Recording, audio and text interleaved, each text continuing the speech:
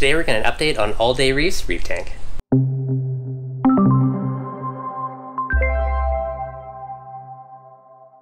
What's going on guys? Devin from Reef Dudes. I'm at All Day Reef's house right now and checking out his tank. It's time for an update. It's been a while since I've been over here. Now if you haven't checked him out, he finally started Instagram and it's at All Day Reef, so make sure you check him out. And he has an awesome contest going on right now, which we'll get to later. Tank is looking gorgeous as always. Um, he's still using the Focustronic Focus 1 LEDs. And I really love how well the tank actually videos and photographs with these lights. It's a really nice color rendition. The tank itself is looking pretty pristine as always. He's added a few new corals to it. Actually looking at his big Zoa garden, you can see he's built it out and added quite a bit to it. As we come down, the hammer garden's getting pretty big. Got new brains, nice pink Cadillac, lots of beautiful new corals in the tank.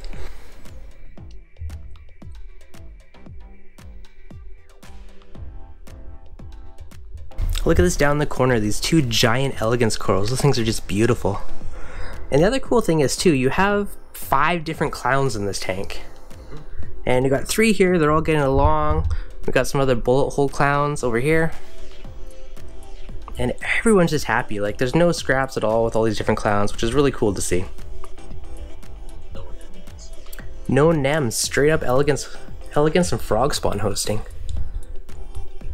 Although in all fairness, I had multiple bubble tips in my tank and the clowns never touched them. They love their little leather.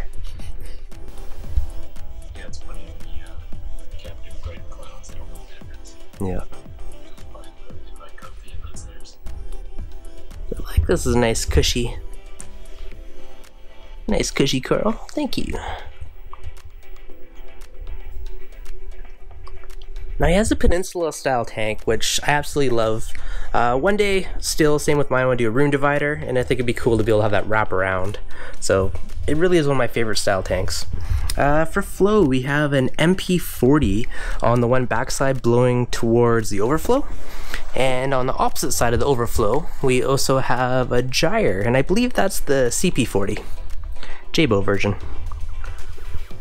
And between the two, it provides really good flow in the tank. Everything, there's movement everywhere you go. I'm not seeing any dead spots, so everything is looking really happy with it.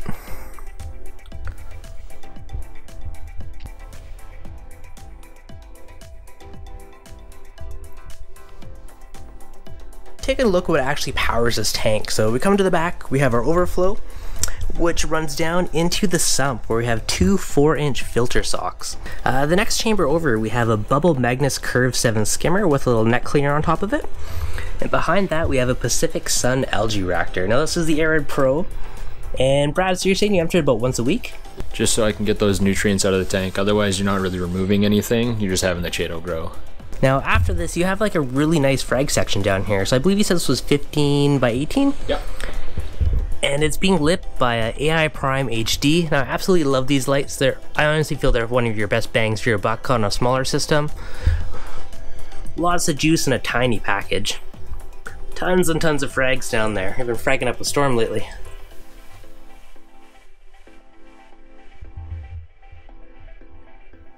Now the next chamber over, we have this beautiful Nyos Torq reactor. I've been actually eyeing these things up for ages.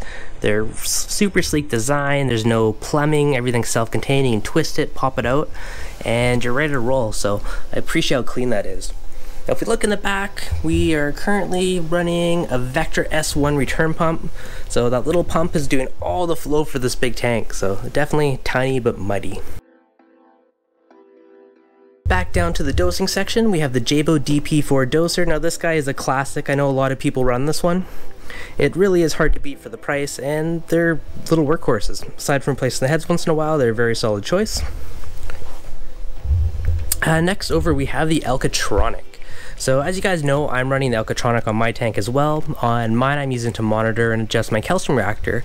And on this one, Brad's actually using it to dose his tank and make adjustments on top of the Jebao doser. I mean, as everyone knows, as your corals grow, the demand for alkalinity, magnesium, and calcium goes up. So I have the Alkatronic checking my water every 11 hours instead of 12, just in case, you know, at the same time every day my ATO kicks on or whatever. I just want to get a, you know, different reading as the days go on. And what I do is, uh, if my Alkatronic kicks on one day. It says my alkalinity is low. Uh, let's say it doses 24 mils. Well, I know that not only have my corals grown, but I'm going to be short 24 mils of calcium and magnesium as well. So what I'll do is I'll bump up the Jebao by 24 mils a day, split into 24 doses, and uh, that way everything stays level. Everything you know is is good for the next week or two till I got to bump it up again. Really cool way of just letting it figure out exactly how much to tweak your dosing, and you know it's basically spot on every time. So really cool way to do it. Next, going down, we have the one gallon space saver containers. Got a little DIY Voss water bottle doser down there, love it. And looking on the side here, we have the Ranco temperature controller. Now I appreciate that because it is very important to have a proper temperature controller. Always back up your backups. Now with these dosing containers, uh, so your dosing looks like the Aquaforest. How are you liking Aquaforest so far? I was just doing the basic Aquaforest 3 part, which was the calcium, alkalinity, and magnesium. And then uh, I actually got a hold of Serwin, who's the owner of Aquaforest and he gave me the recipe for their component 123 plus which was basically an enhanced version of the three part. Uh, so you actually mix in the uh, uh, a b c and k and reef mineral salts and uh, the cool thing about adding the reef mineral salts is normally they would elevate your salt levels very, very slowly.